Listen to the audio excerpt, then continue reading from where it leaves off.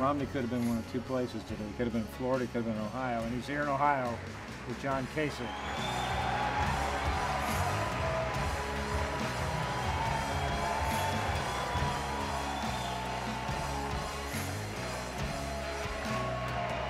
Look at this guy. He just looks like a president, doesn't he?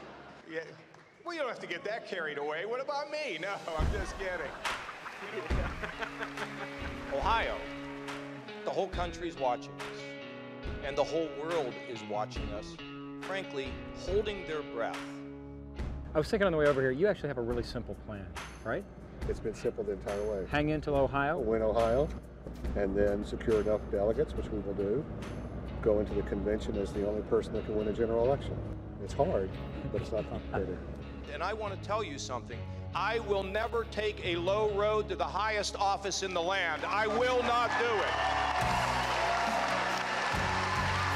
Thank you all very much, and God bless. We thought all this was hard to get here.